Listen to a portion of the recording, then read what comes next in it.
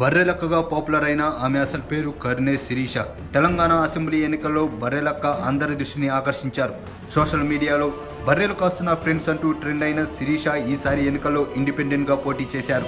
తెలంగాణలో కేసీఆర్ ప్రభుత్వం ప్రభుత్వ ఉద్యోగాలకు నోటిఫికేషన్లు విడుదల చేయడం లేదని దానికి కారణంగానే తాను బర్రెలను కొనుక్కుని వాటిని కాయడానికి వెళ్తున్నానని ఓ వీడియోను యూట్యూబ్లో అప్లోడ్ చేశారు శిరీష. ఆ వీడియోకు కొన్ని లక్షల్లో వ్యూస్ వచ్చాయి. అప్పటి వరకు ఎవరికి తన పేరు తెలియని వాళ్ళకు కూడా బర్రెలక్కగా పాపులర్ అయ్యారామె.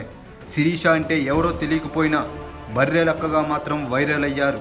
ఇటీవల తెలంగాణ ప్రభుత్వం ప్రభుత్వ ఉద్యోగాలకు నోటిఫికేషన్లు విడుదల చేయగా వాటిలో ఏదో ఒక ఉద్యోగం సాధించాలనే కసితో హైదరాబాద్ వచ్చి కోచింగ్ తీసుకుని ప్రిపేర్ అయ్యారు శిరీష. కానీ పేపర్స్ లీక్ అవ్వడం కొన్ని నోటిఫికేషన్లకు సంబంధించి పరీక్షలను వాయిదా వేయటం గ్రూప్ వన్ అయితే రెండుసార్లు నిర్వహించిన నేపథ్యంలో శిరీషతో పాటు ఎంతోమంది నిరుద్యోగులు కలత చెందారు. లీకేజీల వల్ల ఎంతోమంది ఇబ్బందులకు గురయ్యారు. ఆ క్రమంలో నిరుద్యోగుల పక్షాన నిలబడి అసెంబ్లీలోనే తన గలం వినిపిద్దామని మొదటిసారిగా కొల్లాపూర్ నియోజకవర్గం నుంచి శిరీష పోటీలో నిలబడ్డారు. ఇండిపెండెంట్ అభ్యర్థిగా తన మార్కును చూపించగలిగారు. విజల్ గుర్తుతో తెలంగాణ ఎన్నికల బరిలో నిలిచిన బర్రెలక్క అలియాస్ కన్నే శిరీషకు మొత్తం ఐదు వేల ఐదు వందల తొంభై ఎనిమిది ఓట్లు దక్కించుకోగలిగారు.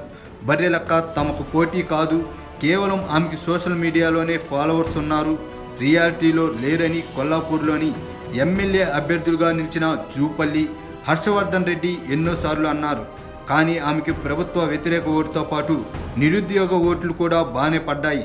దీంతో ఈమెకి రాబోయే ఎన్నికల్లో నిలిచే యువతకు ఎంతో స్ఫూర్తిదాయకంగా నిలిచిందనే చెప్పాలి.